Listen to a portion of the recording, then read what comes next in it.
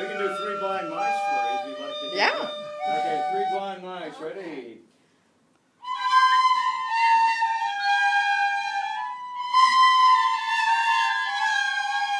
That's as far as we've got.